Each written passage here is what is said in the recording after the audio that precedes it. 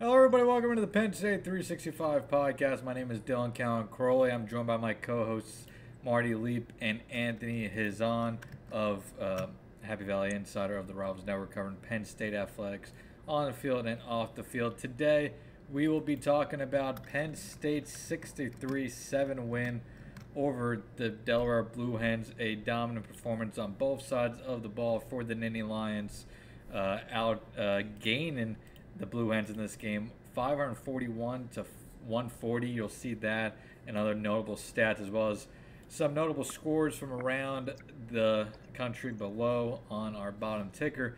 But gentlemen, like like I said, a, a, pretty dominant performance for Penn State on both sides of the ball today. Uh, just what's our uh, initial takeaways from this one? Obviously, an FCS opponent.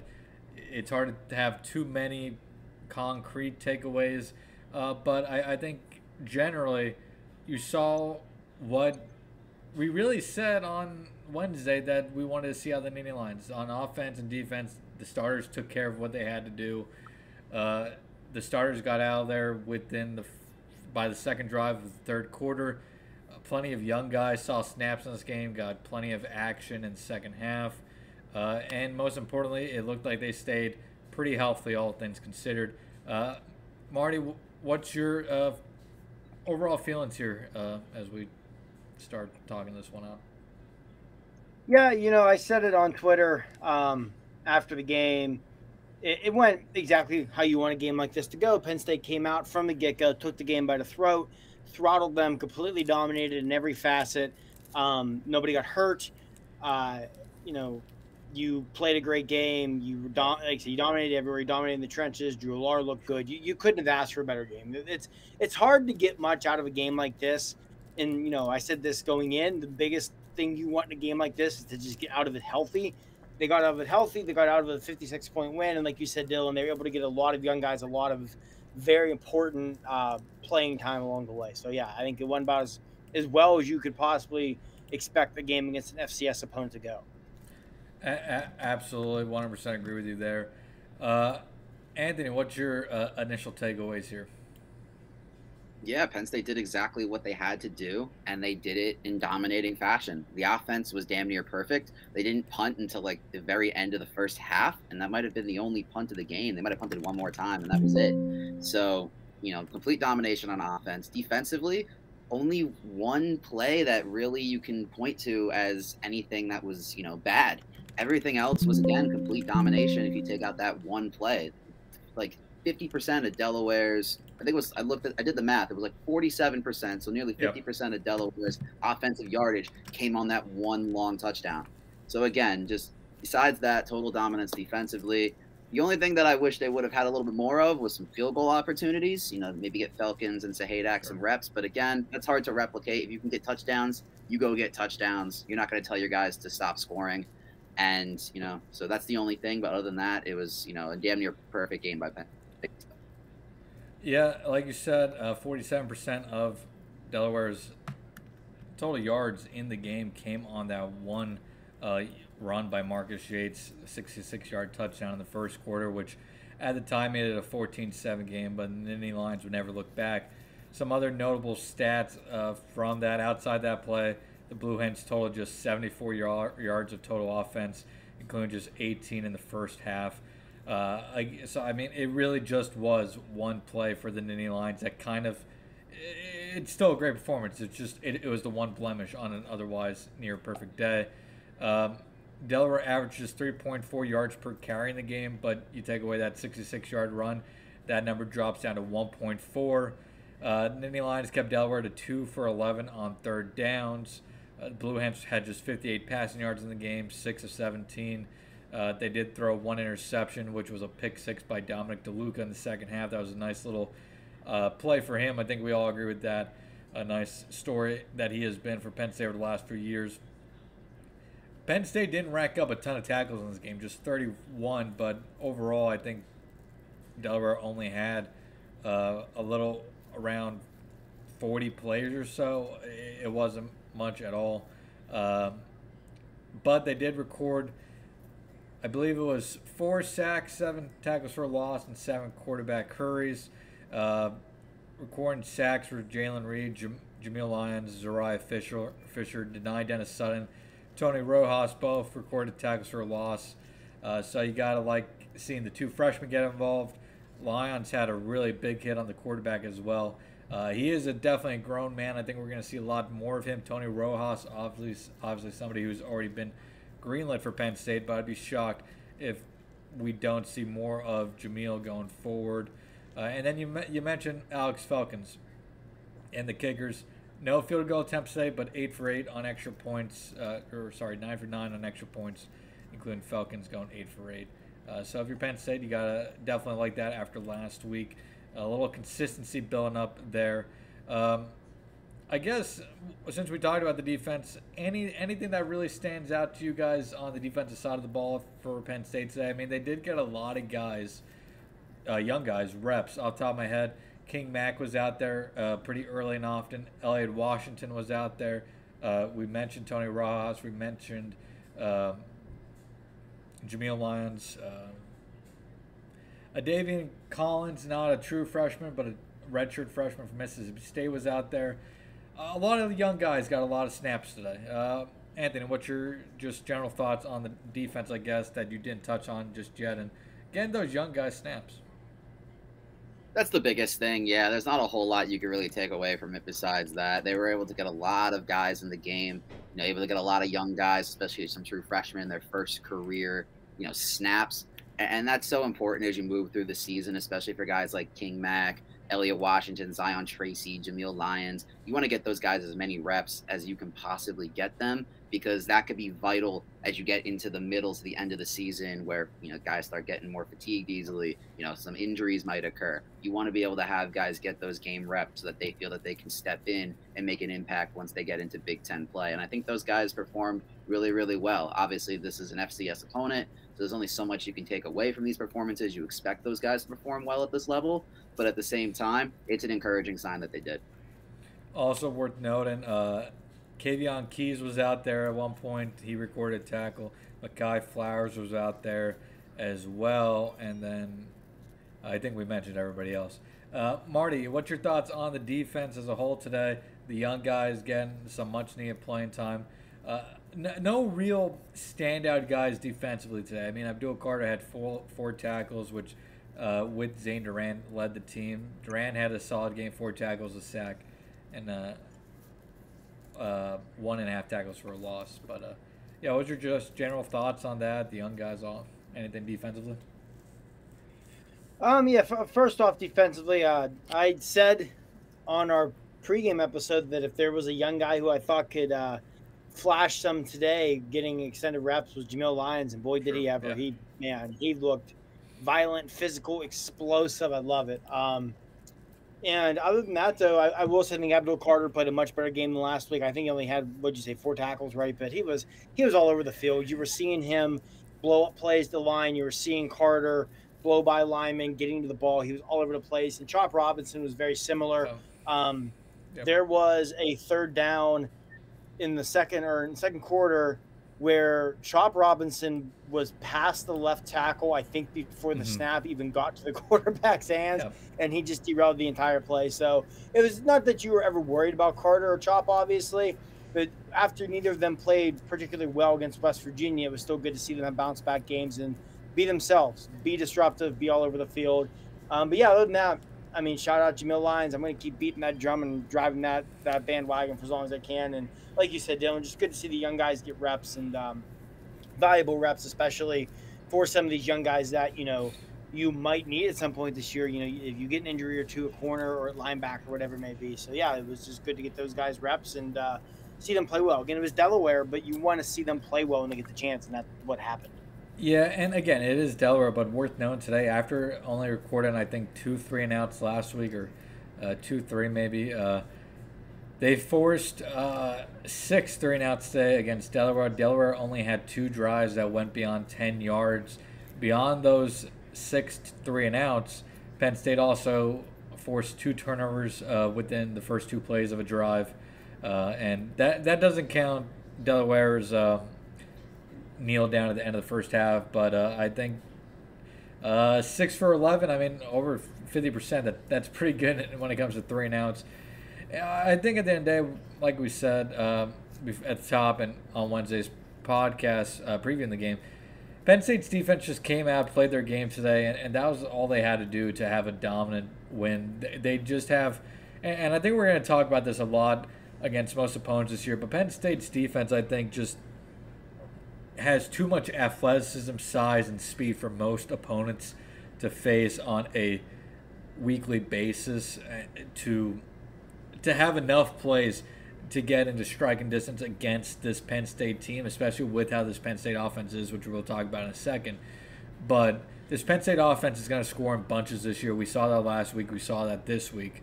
Uh, if team and I just don't think opposing offenses are going to be able to have enough sustained success because of the Nittany Lions' athleticism, size, all that on the defensive side of the ball uh, to really stay within striking distance of Penn State this year. Uh, any final thoughts on the defense from either of you today? Yeah, the only other comment I'll add, not, not necessarily defense, because we keep saying it, it was only Delaware, it was only Delaware. Yeah. Yes, it was only Delaware, but go look what happened in Columbus today. I guarantee you, Ohio Yeah. State fans don't feel great because oh, it was just Youngstown State. You Yeah. can come out in games like this and screw around and Sure.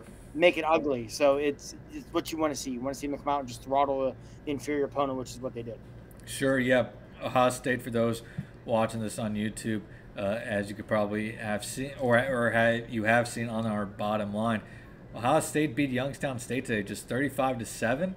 Obviously, you can't really take much away from a game against an FCS opponent, just like we can't uh, for the game today in Happy Valley. But uh, for a Ohio State team that struggled offensively last week, I didn't get to watch much of the Ohio State game this week. I'm sure that they, you know, kind of were just going through the motions, but these are the type of games we've seen in the past where Ohio State puts up 60, 70 points against FCS teams or even G5 teams. Uh, that, that's not been the case last week against Indiana, a team they should have steamrolled, and it wasn't the case today against Youngstown State either. And I mean, even beyond that, you could go look down at Clemson. Now, the final score was uh, a blowout, but Clemson struggled with uh, who do they play today? Um, Charleston Southern. Charleston Southern, yeah. Yeah. At one point, Clemson was losing, and they only led by seven uh, late in the third quarter. Yeah. So I mean, it, it is uh, what it is in these FCS games. But for Penn State, they came out, they played their A game today, which I mean, which I think is most important. They didn't take the day off. They didn't look at Delaware too lightly. They came out, played their A game, and outside one bad play, the Nittany Lions were nearly perfect on Saturday afternoon. I think it's fair to say on both sides of the ball. Um, let's go over to the offensive side of the ball where it was equally as impressive. I mean, Drew Drew Allar, 22 for 26, 204 passing yards, one touchdown, an 85% completion percentage. Uh, I had I had the stats typed up here earlier. Let me find it here quickly. But I believe he is now through two games, something like 36 for 49, uh, even better than that. But either way, he's he's been very good now through two his first two career starts for Penn State. Uh, he is his decision making has been impeccable. Uh, he's thrown the ball uh, accurately almost every time. Very few passes have gone gotten away from him. It's been very encouraging for Penn State to see that through these first two games. James Franklin said as much in his post game press conference, saying it's really exciting to be able to build off these types of performances. But beyond that, Penn State's rushing attack today 315 yards and six touchdowns across 60 rushing attempts. Kaytron Allen led all rushers with uh, 103 yards on 19 attempts and a touchdown. Nick Singleton with three touchdowns today, 47 yards and 12 carries. Uh, Potts had 59 yards. Trayson Potts had 59 yards and seven attempts. Uh, pretty good day for him as well. And then 10 different receivers had uh, receptions today for Penn State.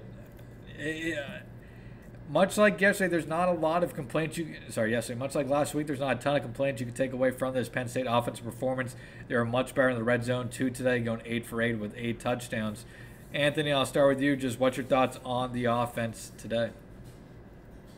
Yeah, I mean, they they moved it well. They were able to do whatever they wanted to do, and there was very little Delaware could do to stop it. Um, you know, Drew put up, you know, relatively modest numbers, all things considered, very efficient, very effective for what he needed to do. He Yeah. didn't try to play hero ball. He took what Delaware gave him, and he let the running backs really steal the show in this one. Obviously, like you said, over 300 rushing yards on the ground. They were able to do whatever they wanted on the ground. So why would you really, you know, deviate from that? You know, Yeah. big day for the Lawn Boys, and you know, Drew had a nice performance as well. And like I said, it's just just pure domination. Drew today, 43 for 52, 529 yards. Sorry, not today. Drew for the season, 43 for 52, 529 yards, four touchdowns.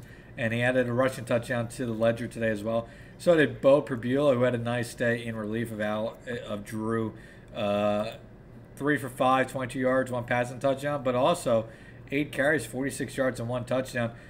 Marty, what do you think about the offense? What do you think about Drew, the rushing attack, but also Beau and uh, his uh, couple series he got in that second half?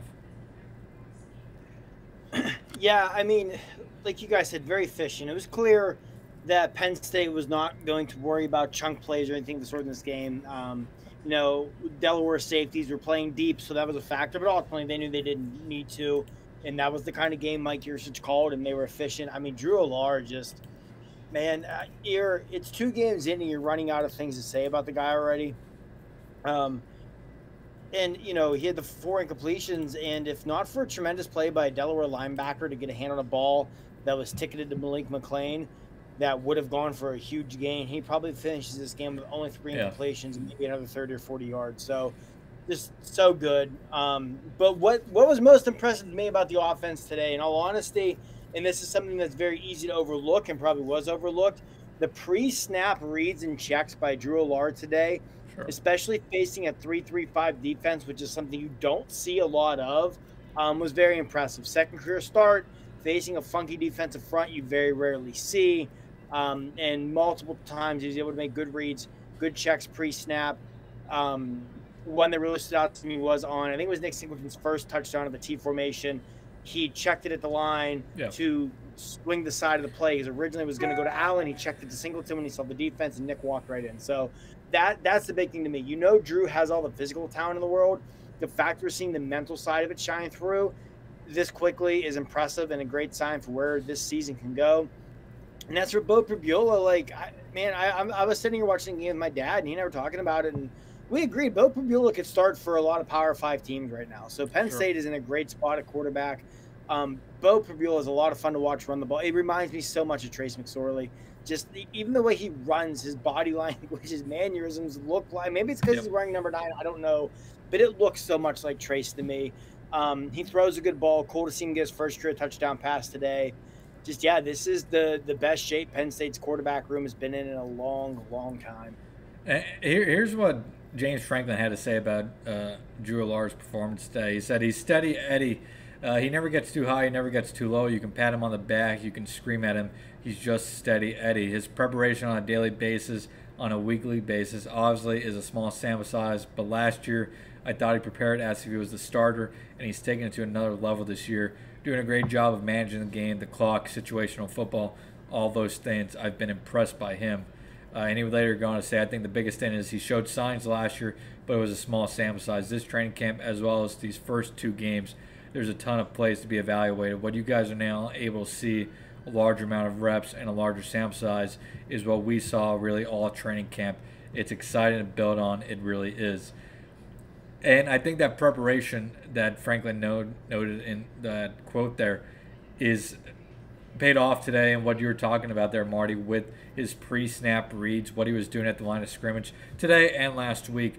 Penn State, I mean, he, he has all the arm, arm talent in the world. He, he's a physical specimen, but he's also, you know, uh, very mentally advanced as a quarterback. This is a guy who, uh, you know, learned under Sean Clifford for a year, and and, and for whatever anybody wants to say about Sean Clifford's, you know, uh, miscues on the field or things that he struggled with on the field. The one thing we know about Sean Clifford was there's very few people in the Lasch building during his six years at Penn State who worked harder in the film room than Clifford. And I, and I think he rubbed off on Drew and Beau in a big way in that aspect. And I, I think it's paying off for Penn State with that as well, and so far in this season. Um, going back to Drew there quickly, Uh, the four incompletions today, he had run. He had one early on on his second pass, but then he had 13 straight uh, completions throughout the first and second quarters. He had two. Sorry, he had three incompletions in a row in the second quarter, and then finished the game with eight straight. Just his level of consistency when he gets on these runs he is such a dangerous passer, and I think that's what Penn State struggled with in the Sean Clifford era for a while. Was Clifford just never had that consistency of being able to come, you know, make not just two, three, four passes, good, good passes in a row, but five, six, seven, eight, so on and so forth. Drew's shown that in these first two weeks that he can get on these hot streaks, and when he does, it's really hard to stop this Penn State passing attack. They'll have a bigger test next week against Illinois. Illinois hasn't looked great this season so far through two weeks, but that is a smart defense. Uh, so I'm excited to see how Drew can perform against a, a defense that's going to be a, a, little bit of a higher caliber than West Virginia and Delaware, to say the least. Um, Anthony, what's your thoughts on this offense performance today? Drew's performance, and anything else?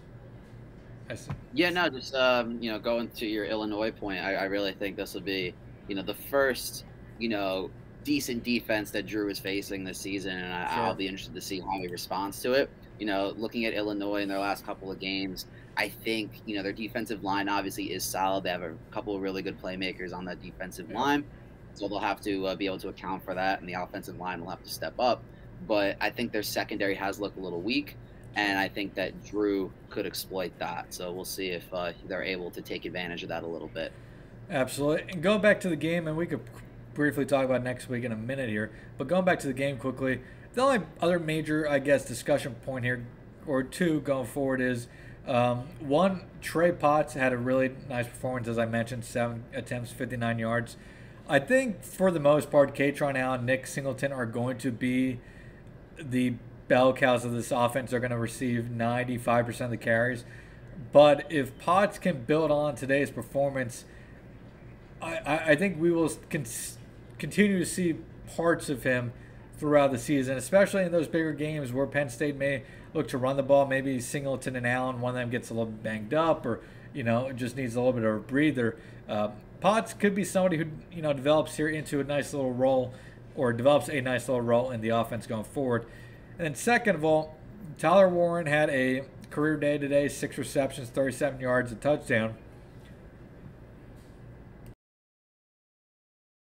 Excuse me, but um, Theo Johnson got the start, just two receptions, 14 yards. He's had a slow start to the season over the first two weeks. Warren's been a little bit more uh, involved to a degree here, especially today. Do you guys have any thoughts on this tight end room going forward? I, I mean, I think it's a tight end room that when they get the ball, they're going to be productive. But going into Illinois and going forward, who do you think is the real, I guess, starter of this tight end room? Is it a guy like Theo Johnson? Is it Tyler Warren? Or is it just whoever has the hot hand they're going to go with from a week to week basis? I mean, Theo Johnson started so last year, uh, had a, was a little bit banged up with an injury as well, but uh, once he got going last year, he was he had a pretty solid ending to his season. I wouldn't be surprised if once he gets going this year, it's similar. But Tyler Warren definitely looks like uh, he's got a, a little bit of a head start this season on Johnson. Uh, probably not the best way to describe that situation, but Warren's definitely off to a nice start. Uh, Anthony, any thoughts on the tight end uh, room or Trey Potts? No, I think like you said, they're just going to go with the hot hand. You know, they'll both. I think we'll have games where you know Theo Johnson goes off, then you'll have games like this one where Tyler, Tyler Warren goes off you know, it, they're just gonna, you know, whoever is in the flow of the game the best, that's who's gonna get the most looks. I think it's nothing sure. really more to it than that. Uh, Marty, any thoughts on the tight end room with Theo Johnson and Tyler Warren? Any thoughts on Trey Potts? Um, the only thing I'll say on the tight end room is you said who you think the true starter is. To me, it's both. They run sure. so much 12 personnel, which we expected coming into the year. I think you can classify them both as starters. Um, I think they're both really, really good. So it's a good, good position to be in. I mean, I know they haven't produced like people have thought this far, but it's very obvious that they weren't part of the game plan against West Virginia because they didn't need to be. And same thing today, even though, you know, today they did get Warren the ball good, but as you said. Um, And as for Trey Potts, I mean, I'm just, I'm sure that had to be a cool moment for him today to run as well as he did at Beaver Stadium. I mean, I know we talked Yeah. about him here. He's a kid who, if he doesn't get hurt his senior year of high school, good shot he gets offered then already here. So that's it was cool for him. And I mean, it just goes to show the depth of this Penn State running back room because Trey Potts is a really good back who could definitely start at a Power Five school, and here he is playing third fiddle to two of the best backs in the country. So uh, again, that's just a, a good position for Penn State to be in.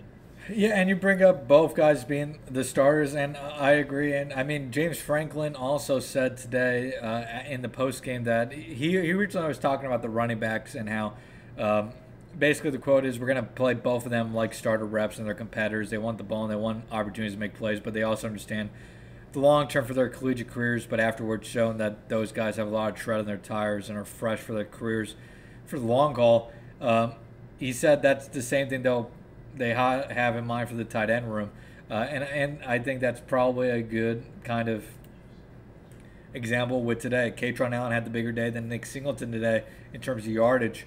Uh, Tyler Warren had the bigger day than Theo Johnson, but next week if Theo Johnson goes off for 100 yards, I don't think any of us would be surprised.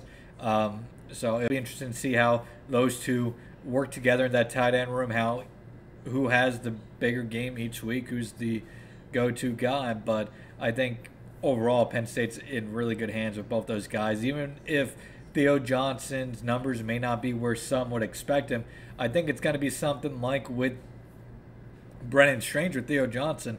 Brenton Strange may not have had the biggest numbers last year, but because of his skill set, his physicality, all that, he went second round last year in the NFL draft, and I wouldn't be shocked if Theo Johnson has a similar uh, story when it's all said and done as well. Uh, are we ready to briefly talk about next week with Illinois? All right. Absolutely. Penn State next week travels to Illinois to take on the Fighting Illini. The Illini are one and one on the season after losing to Kansas on Friday night. Uh, 34-23 was the final score. Illinois has not looked good the first two weeks of the season. They barely escaped Toledo 30 to 28 before losing yesterday. Last time these two teams met was the infamous nine overtime game in 2021. Penn State obviously has some revenge on their mind.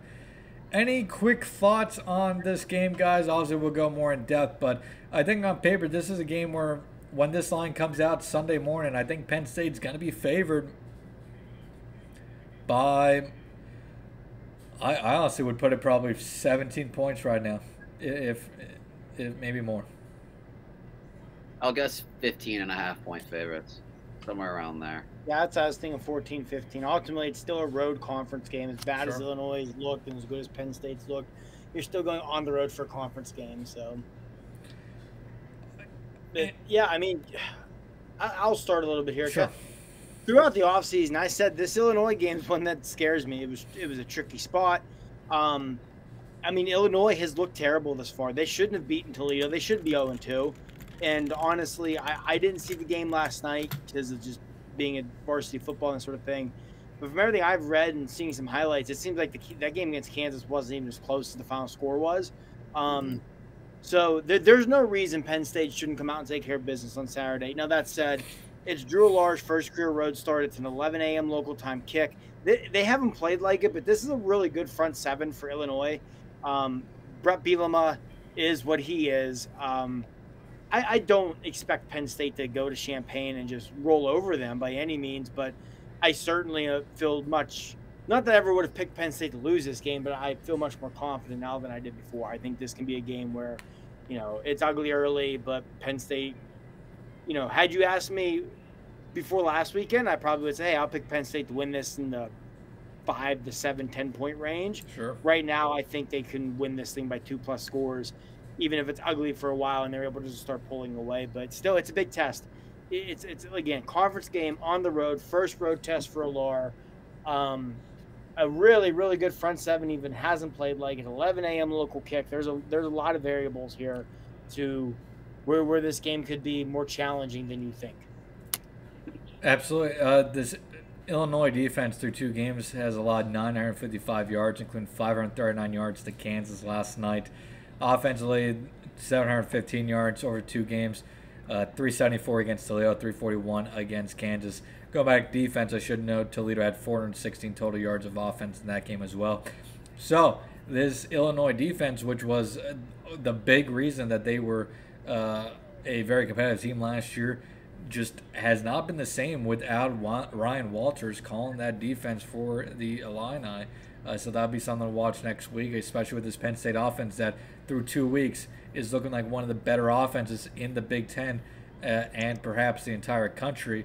Anthony, what's just your early initial thoughts on Penn State, Illinois, now that we've seen both teams for two weeks? Yeah, the biggest thing that I'm going to be looking to see is how Penn State's able to handle the offensive game plan Illinois is going to have, which is obviously going to be to run the ball early and often.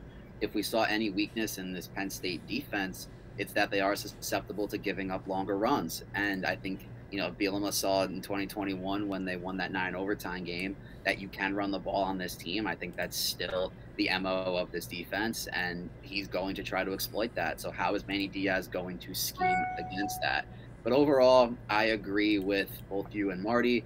I, I don't see, you know, I, I, think Penn State should win this game by at least 10 to 14 points.